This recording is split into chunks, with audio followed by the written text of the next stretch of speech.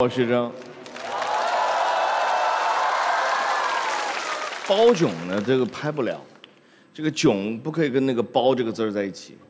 我们用过一个姓包的演员，后来就不是很成功，你知道吗？没有希望。直到现在我才搞清楚，我上次到这里来录的节目叫做脱口秀大会。哎，你们这两档节目怎么一样一样的？是说所有的嘉宾全部都是一样的，是吧？唯一的区别就是脱口秀大会里面是没没有那个张张绍刚老师的。我现在搞清楚了，吐槽大会里面来的所有的嘉宾都是有槽点的艺人啊，所以脱口秀大会就是个喜剧大会，吐槽大会就是个洗白大会。张绍刚老师，你是洁厕灵吗？去哪儿哪儿白？我现在终于知道你为什么要健身了，你是努力想成为那个威猛先生是吧？而且今天的今天的衣服穿的过于正常了，没有槽点！而而且我给你们嘉宾名单了，什么宁浩，什么什么什么沈腾、黄渤，你们一个都请不来。哎，名单上还有郭京飞的，郭京飞也不来，郭京飞都嫌弃你们这个节目了。郭京飞是个什么什么样极限的演员？我的天哪，演戏差，长得丑，猥琐恶心 low。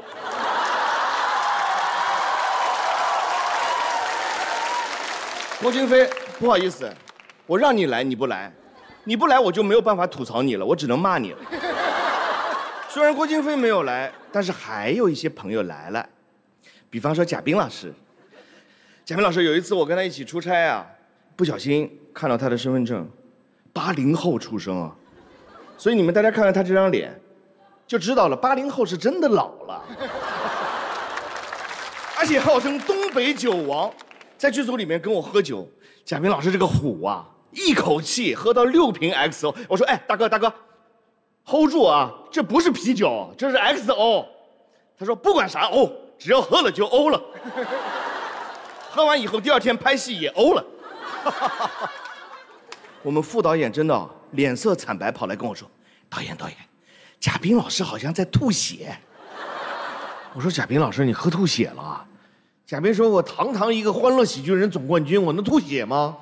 我吐的是血丝儿。”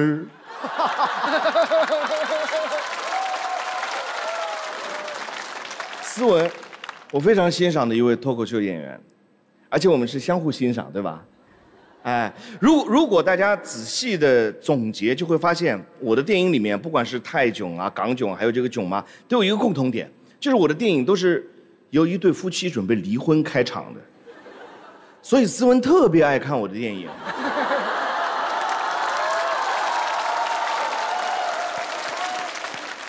他一边看一边就觉得我我我的人生怎么还没有开启啊？啊，我的人生还没有开始，好期待啊！思文，你你加油，啊，你是可以到这一步的。李庚希，这小朋友一看就是小桃红派到这里来的卧底，对吧？我跟你说，你不要童言无忌了。十九岁不小了，好吗？我十九岁的时候已经开始谢顶了。你演过小桃红的女儿，你得向她学习啊！你看桃红多好啊，多么完美啊，长得漂亮，性格开朗，演戏又好，最关键是看人又准，不怕谢顶，有品位。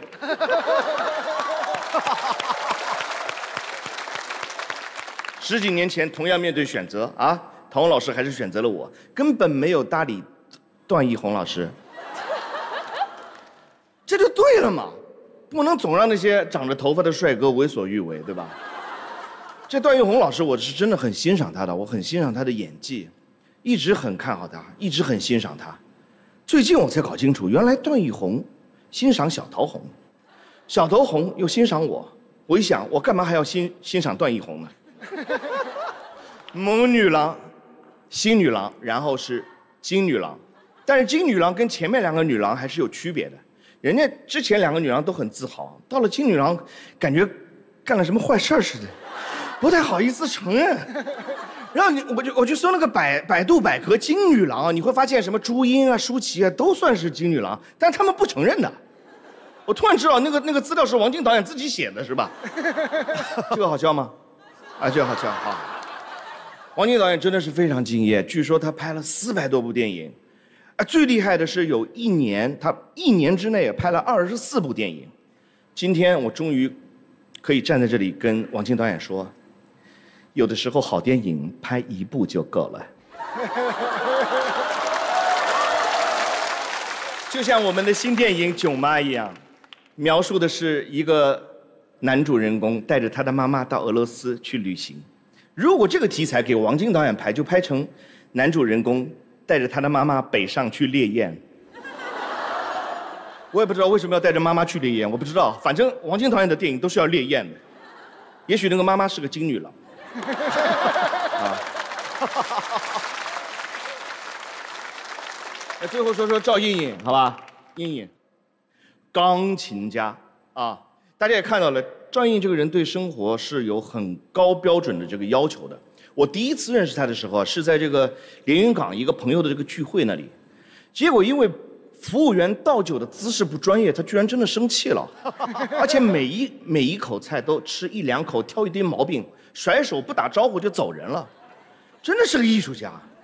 逃单都逃得这么有个性，啊！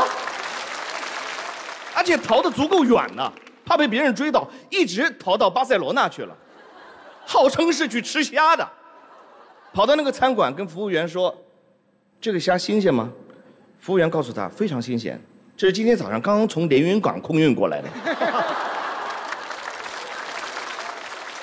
张莹莹的爷爷啊，特别喜欢她，就觉得这孩子将来得有出息。